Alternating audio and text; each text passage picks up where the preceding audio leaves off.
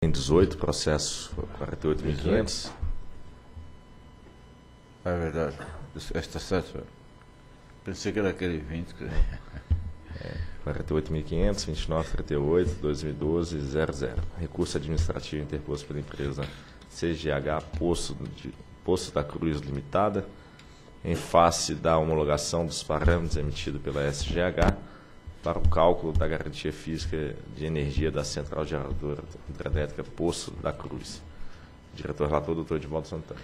Em 15 de 5 de 2012, a CGH Poço da Cruz Limitada solicitou o cálculo da garantia física da CGH de mesmo nome. Em 28, a ANA emitiu resolução 364, concedendo o toque do direito do uso dos recursos hídricos à CGH, mas com restrições operativas.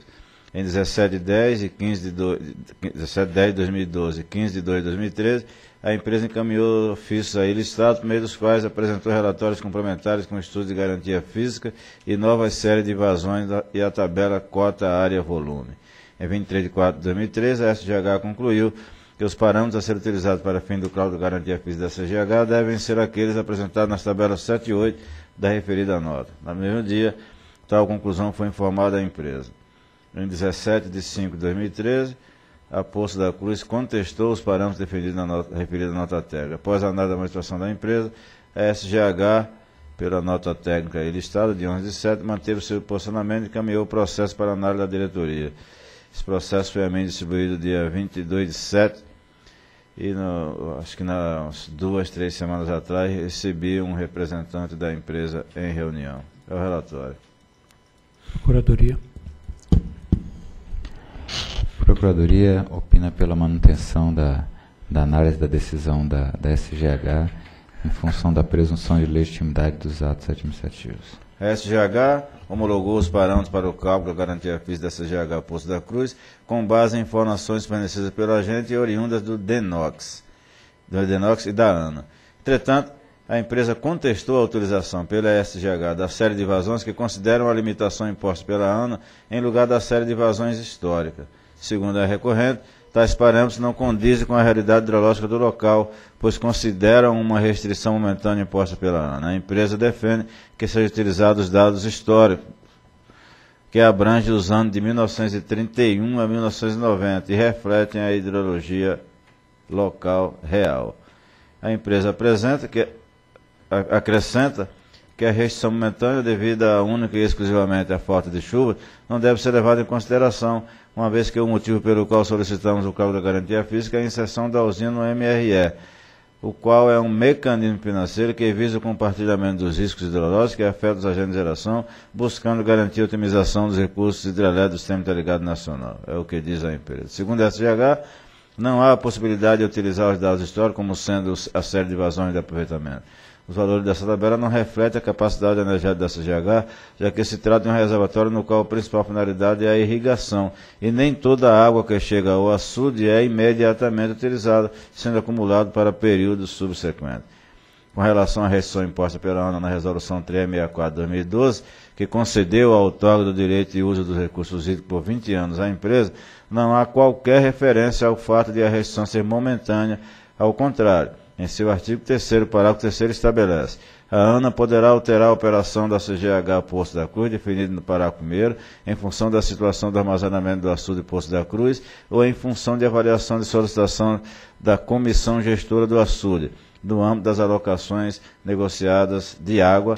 Nesse sentido, parece-me ter razão a SGH. Nessa reunião com o agente, eu não tinha ainda acessado o processo, até disse que ele teria razão se essa restrição fosse momentânea. Mas se é uma restrição permanente, e faz todo sentido, ele não teria razão. Por isso eu acompanho sim a posição da SGH. Diante do exposto do que consta do processo, voto por conhecer e no mérito negar provimento ao recurso administrativo interposto pela CGH Posto da Cruz Limitada contra a nota técnica 499 de 2013 da SGH. É o voto. Em discussão mais um, um, processo onde os agentes discutem os parâmetros empregados para o cálculo da garantia física.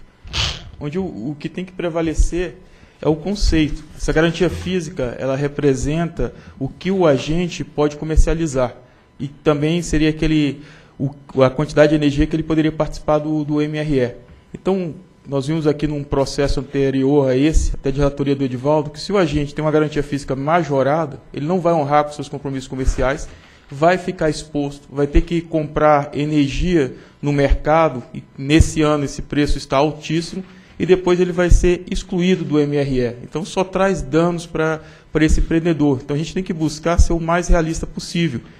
E aqui, diante da, da instrução, eu observo que tem uma série de vazão histórica e tem um, uma limitação a essa série de vazão atestado pela ANA, onde deve ser respeitado o desígnio do reservatório, que esse reservatório aqui está, de acordo com a ANA, é um reservatório para abastecimento. Então não, não, não pode a gente querer pleitear ter um, uma energia que, ele, que não existe. A água tem, mas não, não vai ser destinada ao setor elétrico, ela está destinada à questão do abastecimento.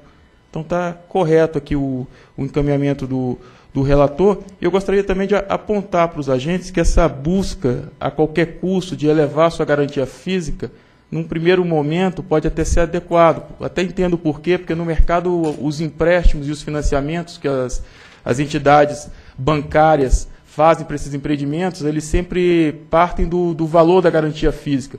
Mas o risco de se ter uma garantia física não condizente com a realidade é muito maior e a possibilidade de danos e prejuízos ao agente é muito grande. Então, isso aí deveria ser até uma preocupação do agente em ter o melhor dado possível para que ele possa fazer as estimativas econômicas de seu empreendimento. É, acho que é um alerta importante, porque de fato é uma, um falso benefício, né? Quer dizer, olhando de curto prazo pode ter essa vantagem, mas tanto para ele médio e longo prazo, como para o próprio sistema, né, que você estaria sinalizando com uma geração que de fato não existe, não está disponível. Agora, aqui chama a atenção o fato de ser um recurso quanto uma nota técnica. Né? É, é, esse, é esse, essa nota, quer dizer, isso não tem uma decisão que é tomada pela área? Mas a decisão, por favor, Dani, a decisão é por nota técnica ou teria um despacho que, que consubstancia a decisão? É, as CGHs, elas não têm projeto é, aprovado, só tem um registro. Então, quando vem é, para homologar os dados, a gente ap apresenta a nota técnica e, e, e depois disso é, um, tem um despacho publicado com os parâmetros homologados que o Ministério usa para cálculo da garantia física. De, depois não tem ou tem? Eu não entendi. Tem, tem. tem um despacho. Tem um despacho com, a empresa com... se antecipou, na realidade. Ah, tá bom. A empresa se antecipou, é isso, é. então. Quer dizer, na verdade teria normalmente o despacho, ela poderia eventualmente recorrer do despacho, mas ela se antecipou e ok. Não, mas não, o fato é que não tem uma decisão por nota técnica. A nota técnica é, na verdade, um elemento para a instrução do processo para sustentar a decisão que viria numa segunda etapa. É, esse, é caso, esse caso é um caso de uma licitação feita pelo Denox, que otorgou a esse, a esse agente todos os açu vários açudes do Nordeste para aproveitamento do, do, potencial hidráulico ali disponível. É, no entanto, é, são aproveitamentos de uso múltiplo, aproveitamentos que têm o seu uso definido por uma vazão constante a, jusante, e não é, um aproveitamento que tem a, o, seu, o seu nível constante a montante. Então, junto com a ANA, a gente estabeleceu uma metodologia para estabelecer um nível médio de jusante, e aí sim em vez de ter uma vazão, um nível constante e uma vazão, uma vazão média, a gente tem uma, um nível médio e uma vazão constante. É uma metodologia distinta para cálculo da garantia física. Ou seja, depende mais da água que sai do que da água que entra. Sempre só da água que sai. É. é. é. Que é constante. No mérito eu entendi, Daniel. Estava só perguntando a função da história da nota técnica, nós cansamos de dizer que nota técnica não é um documento que consubstancia decisão alguma. Ela é apenas um documento que sustenta, que instrui um processo. Né? E aqui, como nós estamos apreciando um recurso sem uma nota técnica, fica meio incoerente com isso. É. Mas eu entendi que é uma situação excepcional, porque, na verdade, o agente se antecipou em relação a um despacho que viria na sequência. É verdade. Ok. Em votação. Voto com o relator. Também voto com o relator. Proclamo, então, que a diretoria decidiu por conhecer e no mérito negar provimento ao recurso administrativo interposto pela CGH Poço da Cruz Limitada contra a nota técnica 499-2013 SGH.